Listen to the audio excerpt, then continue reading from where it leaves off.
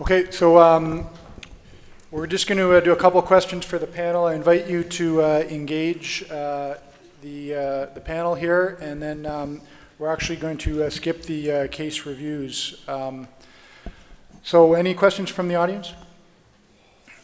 So I have a, a question. Two of you mentioned the role of arthroscopy following uh, knee replacement. So can you just go down the panel and uh, tell me what you think the role of arthroscopy following knee replacement is? Dave? Uh, patellar clunk, I think, is probably the best reason for arthroscopy after uh, total knee. And even those people that have a lot of patellofemoral crepitus, uh, I will do it for stiffness along with the manipulation if I get out past three months.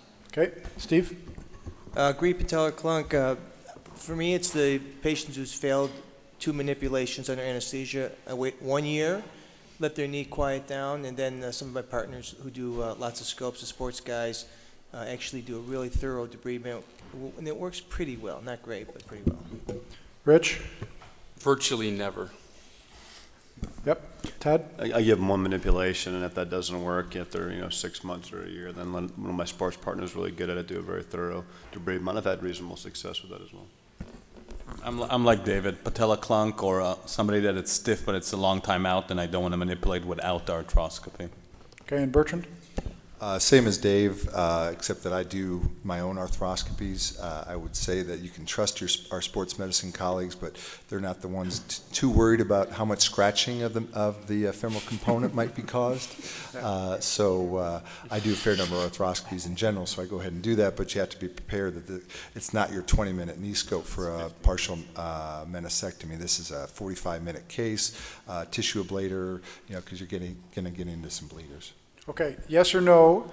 Uh, I'll get you in one sec, just on the same note. So is there a role for arthroscopy for treating infection post-knee replacement? Dave? No. No. Nope. No. Nope. No. All right, I like you guys. Okay. Question from the audience? So, question, uh, oftentimes we have a loose toe knee, and it's been said that there is no such thing as aseptic loose knee, where we're missing a lot of occult infections. And we started using sonication of our implants after we do that as a routine for all our revisions, and we're not quite sure what to do with that information. Pre-op workup for infection negative, cultures intraocularly negative, everything negative, and then two weeks later, you get a positive culture result in your sonication from the fluid media. What do you do with that information? You stop doing sonication. I agree. I, I, I don't do it because we don't know what to do with the answer. So does anybody do anything different? Uh, Antibiotics I'm in on all my revisions as part of the treatment.